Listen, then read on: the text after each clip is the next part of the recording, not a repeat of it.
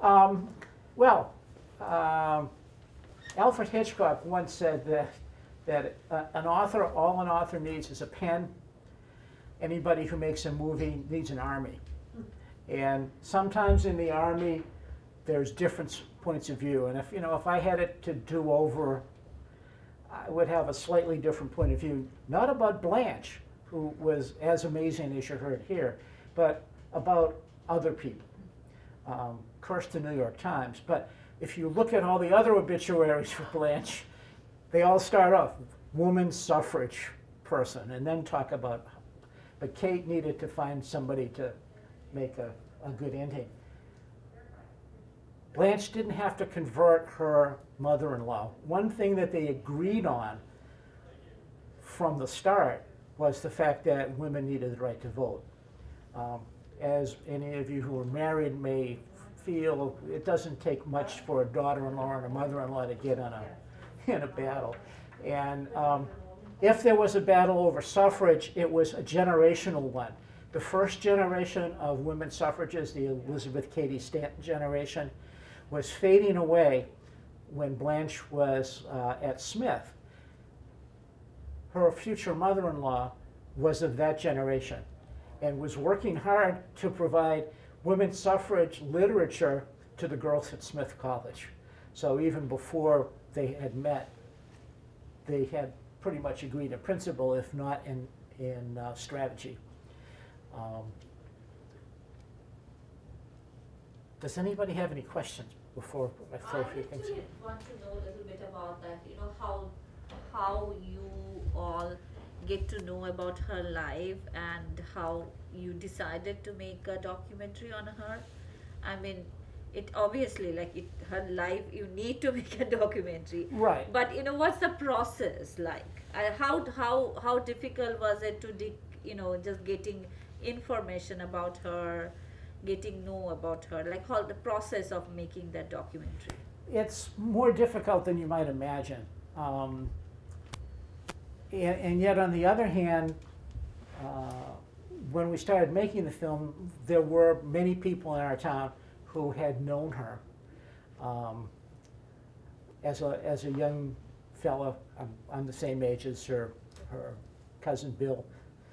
Uh, you know, I remember bicycling by the, by the property, and she always had an interest in agriculture and had these huge black Angus cows out there. So there, there was a connection. We're, at least up until this current generation, there's been a strong connection between the town and the family of the Ameses. So she was remembered, and there were a lot of, there's a lot of stories because she was unique. But many of the Ames women were unique. Her rival, Mary Frothingham, was a character as well, and much beloved by the town, despite the fact that she uh, started out as an anti-suffragist, and as soon as women got the right to vote, she became the campaign manager for her husband who ran for Congress.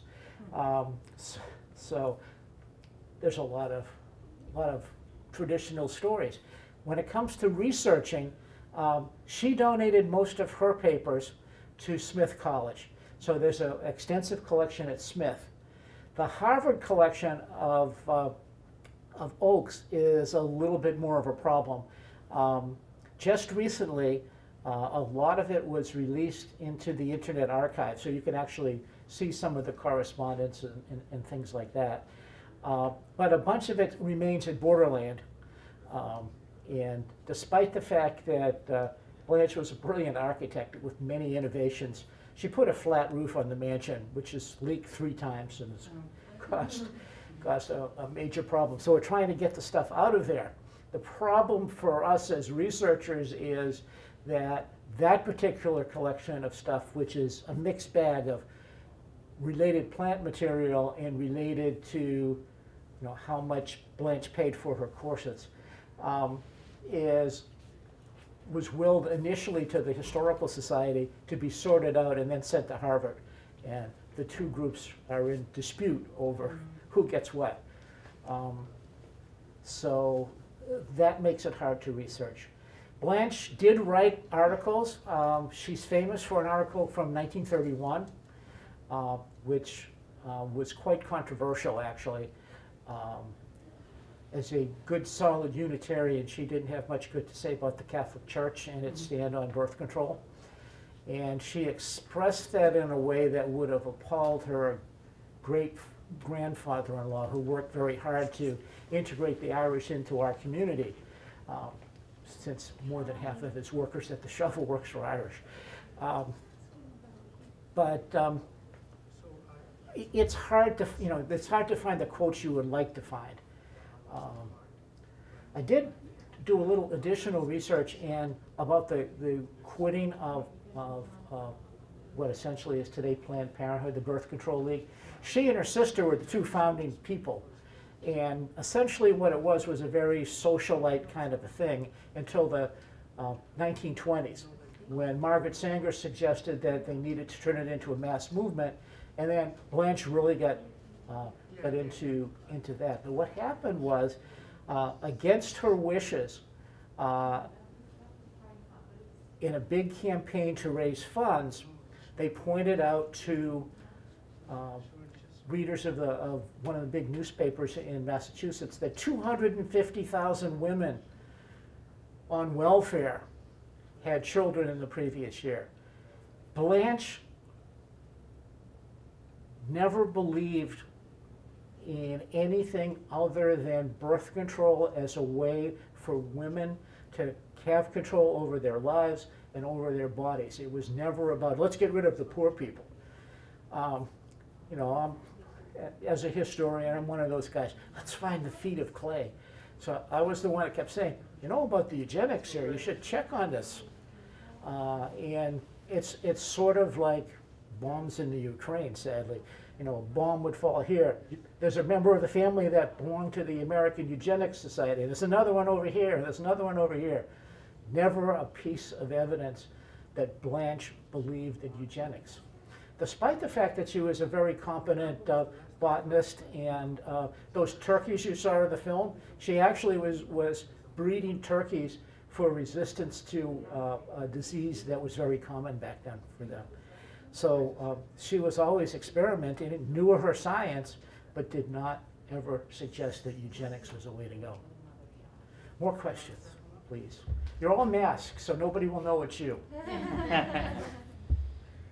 Um, I have a question. Yes. Um, it is said that, um, when her and her husband were interested in building Borderlands, that they had initially went through a formal architect in Boston, ended up firing him, and taught herself architecture. How would a woman in that time frame be able to teach herself architecture?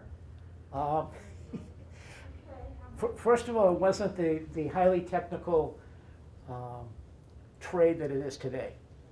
Um, All of her contemporaries in Easton were building uh, mansions. Uh, Mary Frothingham was building a mansion slightly after this. Her other cousin was building the, what's now the administration building at Stonehill. It's gigantic. And what she did is she went home to Lowell again and um, sketched out the house that she was raised in. So Borderland looks a lot like her original home. Now, the technical innovations were um, very special. Uh, there was a tradition in Easton that the mansion was made out of cement because she was terrified of fire. She wasn't terrified of fire. I don't think she was terrified of much of anything. Uh, but what they were afraid of was that if a fire did break out, the orchid, the dried orchid collection would be destroyed. So one of the stipulations was the entire building had to be fireproof. So she did her research, and the, and the big innovation was that instead of having uh, the supports of the building internally, none of the interior walls are weight-bearing walls. What they did is they built a wall, a wall, and then ran I-beams across to, to hold the place up. And that was innovative for its time. Any, anybody that was using uh, I-beams and reinforced concrete, that's a big step forward. Uh, we're sort of famous in Easton for our H.H. Richardson buildings. And that's half a generation earlier. And Richardson, uh, despite the fact that his engineering firm kind of invented reinforced concrete, never used the stuff, which turned out to be a real problem because one of his buildings is right now on the verge of maybe falling down. We're taking care of it, but they, they, whoop, there's a big crack here and, oh yeah, the beam that's holding up the second floor is rotted on this end and rotted on that end. So, um, as I say, we'll take care of it, but, um, Blanche's buildings don't fall down. She's amazing. We have a, a, a Frederick Law Olmsted Memorial Cairn uh, in, in our, um, our town. And uh, after World War II, the Ames boys wanted to knock it down and turn it into a, a World War II memorial. It was originally designed to be a Civil War memorial that looked like a fort. But the Ames women, Mrs. Frothingham, the rival, and Blanche, came down there, and Blanche had a model of the way it was supposed to look that she had made, held it up, and the men from the Olmsted Company went back and said, no, we're not gonna do it. The, the women say, we're not gonna do it. And they didn't. Uh, and uh, it's, it's there for you to see today. More questions, please. Yes, I, I think that it's just fascinating that this character, this living person, has sort of been in the like the backyard of, of so many people for so long without the story being told.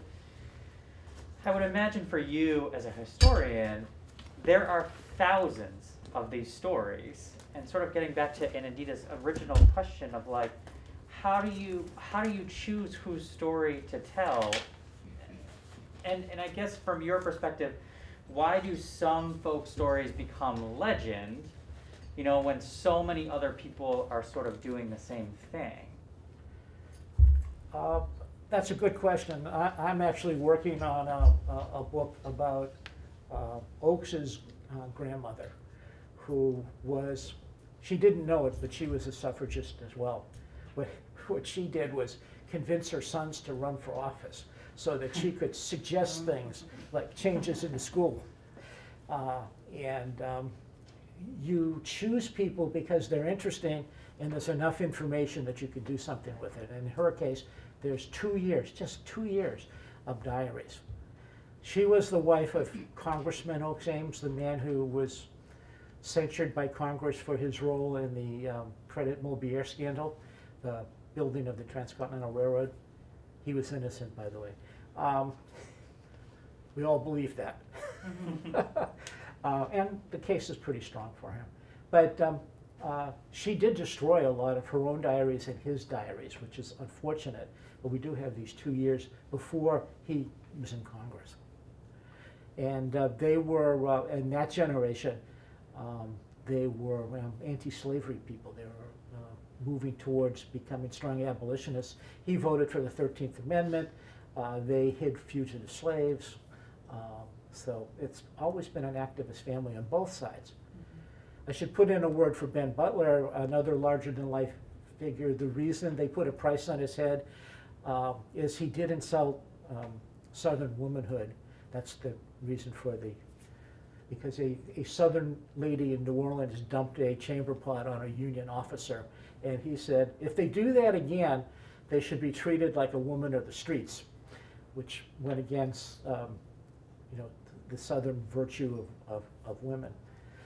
It didn't help him that his nickname after he left Louisiana was Spoons, because the people of Louisiana claimed that every silver spoon in the state had disappeared, along with Mr. Bartlett.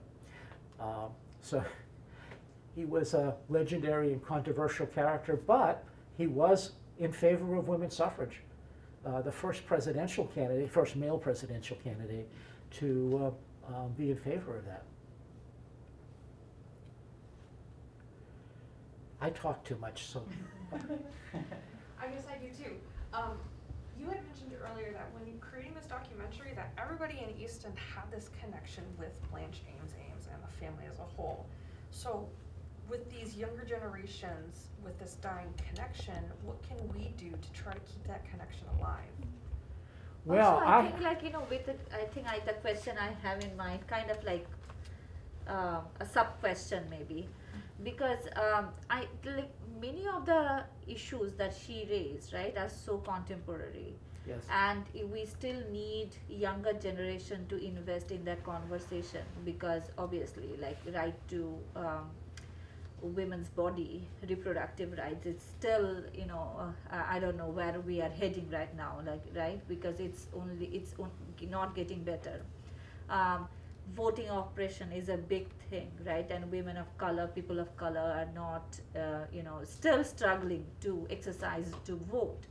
Um, so her what she did her the issues she raised are so relevant but also younger generations are should be part of that conversation.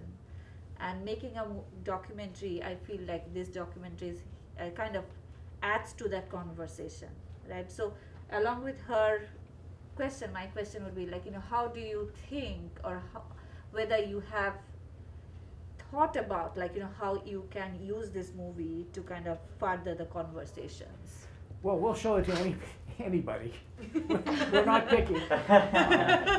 Although it's ironic, as a li- lifelong Republican, I've shown this to a number of Democratic town committees. Mm-hmm. They're much in favor of her, and she probably, one of the Amesters, Charlton, who was there uh, at the end, always introduces himself as, I'm Charlton, I'm the Democrat. Uh, because he's the only family member that's uh, a- a Democrat now. But I think Blanche probably would have, simply over the issue of reproductive rights. And as we all know, you know, Clarence Thomas coughed today, and all the, all the people who are concerned about the birth control issue in front of the Supreme Court had hopes, but apparently he's, could have signed one of those health forms that I had to sign. Um, The uh, answer at how do we keep, keep her name alive? Well, we, uh, we built a uh, unified elementary school, or a building, it's not quite done. And I'm very proud to say that one of my student teachers from Stonehill led the campaign to name the school after Blanche. uh, So that uh, the young women of Easton would have a role model uh, like the uh, people who honor Governor Ames. Uh, That's the name of our high school, Oliver Ames. Uh, We just won the state, oh, we just won the state girls' basketball championship uh, over the weekend. And have, oh, oh, oh, yes, and by the way, changed her opinion, no way. Anna C. Ames was so committed to girls' rights that when she built the gymnasium to go along with the high school that her husband built, it was required that there was an equal sport for girls for every sport there was for a boy. And we won our first girls' state championship in 1913, only three years after the boys won their first state championship. Now, how did she prove to her friends that girls could play basketball? They played boys' rules back then. Some of you, now you guys aren't old enough, but I'm old enough to remember that girls' basketball was played in zones and the girls couldn't run around. Not in Anna's time. That was they played boys' rules, ran full court like they do today. And she brought a bunch of her society friends out to watch a game, and then after the game was over, she had doctors come out and give medical tests to the girls to make sure that their hearts weren't damaged by the fact that they were running around. So she was there.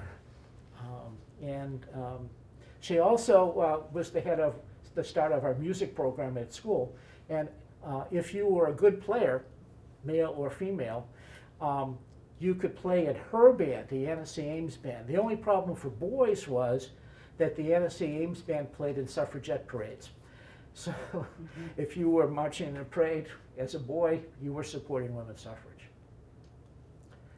Um, so it was an organized thing. I, I, I imagine in 1915, uh, as it's been described to me, that uh, th- there were limousines driving all over, over town. Anna's limousine, Blanche's limousine, and Mary's on the other side, limousine, driving people to the polls to vote on, uh, on the issue. So um, the family does battle, but they do seem to be friends.